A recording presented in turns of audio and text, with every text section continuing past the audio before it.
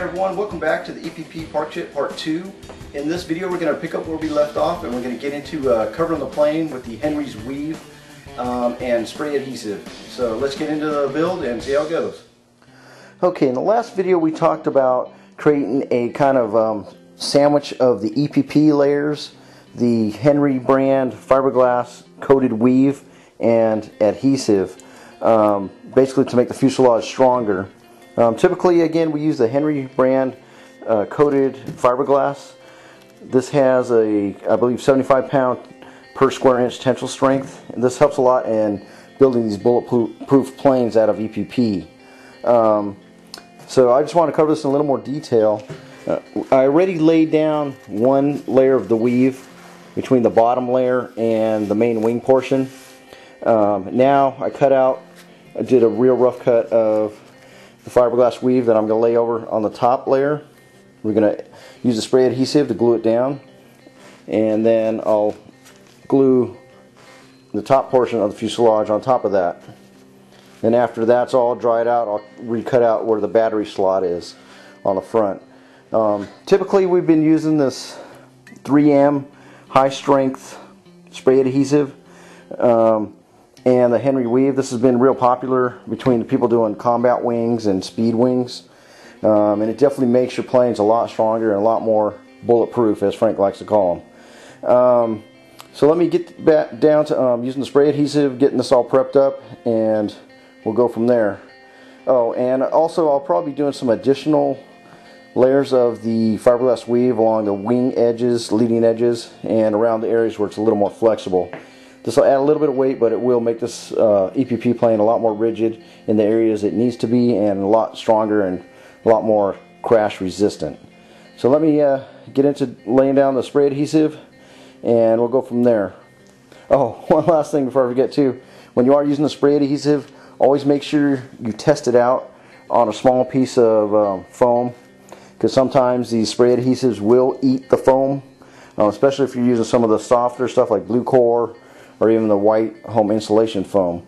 Um, when you're using those, typically uh, I like to use basically just epoxy or something that is uh, basically good for using with foam. Uh, one last note I forgot to mention, um, you need to make sure you cover your tables and uh, relative area with some sort of sheeted plastic or something to protect your area um, when using the spray adhesive because if you do get any overspray on it, it will you know get tacky and sticky and gum everything up.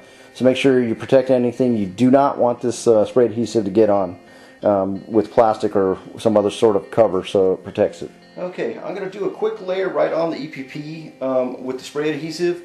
And I got kind of an old piece of uh, foam board to use kind of a shield to kind of direct it and keep it where I want it. Um, so let me uh, lay down a quick layer of the spray foam. Then we'll spread it out with a, just a basic cheap epoxy knife. Um, our friend Ken says he actually sometimes uses just um, old playing cards um, to spread out the uh, adhesive after you spray it. So that might be a good way because it's a quick straight edge that's disposable. You just get an old piece of uh, old set of playing cards and uh, spread it out with that. So let me get started. Uh, one thing also, make sure you always have the room ventilated. I opened up all the windows to the basement here so you're uh, not breathing in too much of this um, adhesive. So here we go. Let's spray some down.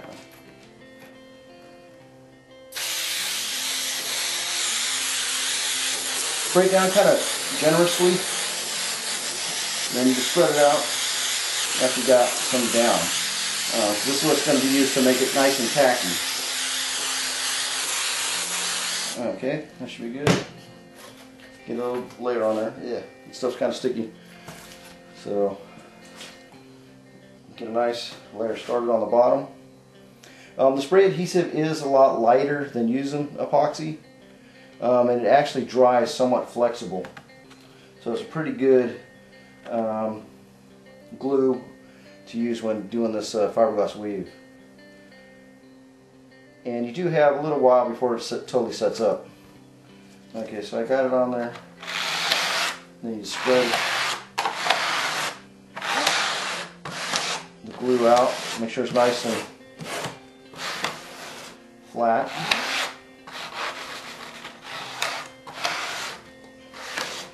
And actually, you know, I probably should have used some uh, cheap rubber gloves to protect my hands. Now I'm going to get all sticky now. Okay, got a basic layer on there. I'm going to put another layer of the adhesive on and then we'll press the top layer of the fuselage on.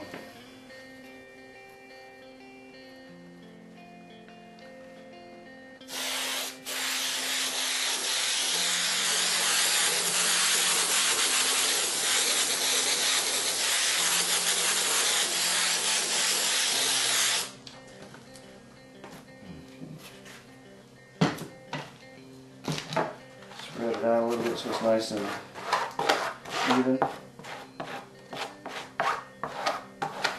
Okay, and again, this is going to make this fuselage um, nice and rigid where it needs to be, uh, but still a little bit flexible to absorb a crash.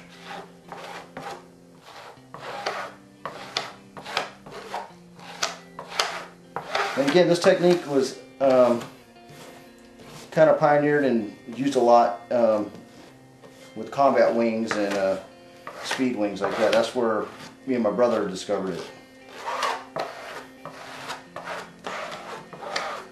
Okay, feels like starting to get tacky and dried up already. Let me find the top layer of fuselage it just a little bit more down.